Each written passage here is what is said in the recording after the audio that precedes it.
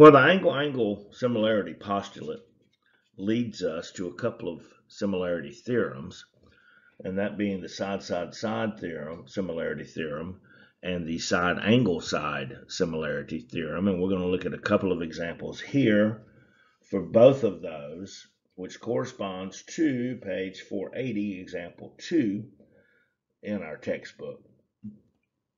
And so the one here on the left, we're going to be evaluating this side, side, side. Now, if all the sides are proportional, if all the, and I'm going to say it specifically, if all the congruent corresponding sides, if all the corresponding sides are proportional, then we have side, side, side similarity.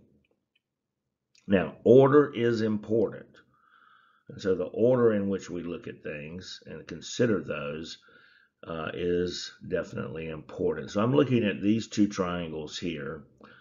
Let's say, uh, well, we'll do it like this. I'm seeing that angle L here is opposite this side that's 16, and that's the largest side length of that triangle and angle M is opposite 12 here. That's the largest side length that I'm given for this triangle. And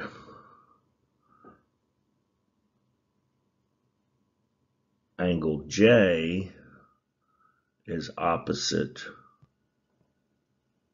the shortest side length and angle Q is opposite the shortest side length over here. So we're going to consider then is triangle JLK, is it similar to triangle QMP?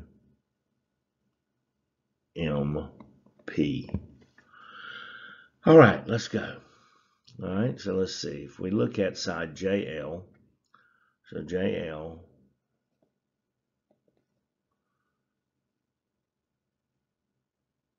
and to check the proportion of that to QM.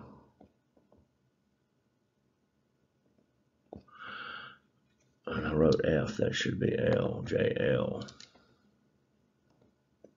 Okay, so JL is 12 and QM is 9. Let's see, both of those are divisible by 3. So that's 4 over 3. Okay, well, all right, there we go. Let's see. Let's look now at LK to MP. So let's check LK to MP. And LK is 8. And MP is 6. Both those are divisible by 2. Again, that's 4 over 3. Well, then let's do one last check. Let's do, what about KJ to PQ? And KJ is 16 and PQ is 12. And both of those are divisible by 4. So 4 going to 16 four times. 4 going to 12 three times. And yes, we can say that triangle JA, JLK is similar to triangle QMP by the side, side, side theorem.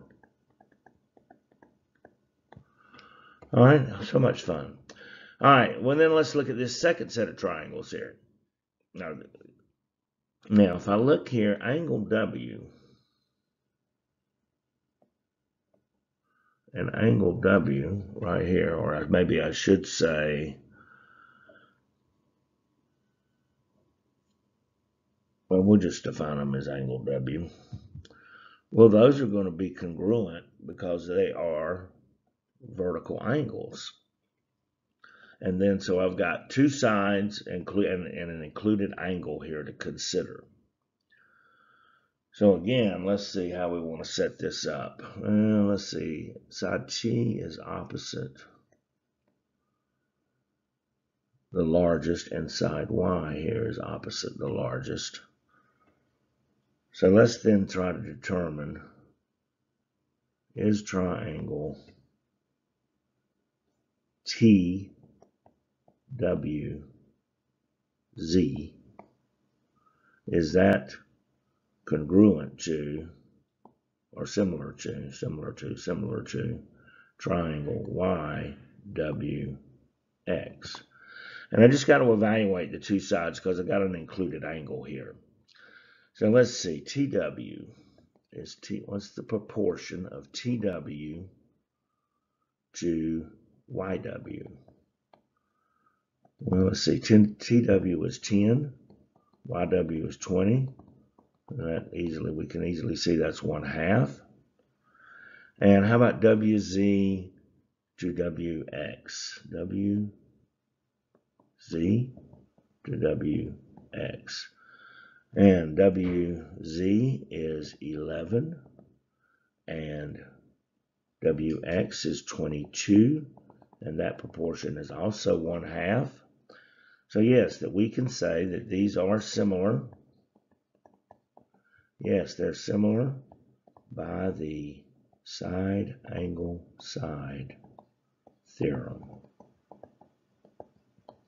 Order is important. Determine how in which order you're going to view things to test similarity, either using angle-angle, the angle-angle similarity postulate, or the side-side-side similarity theorem, or the side-angle-side similarity theorem. Hot dog, this is just so much fun.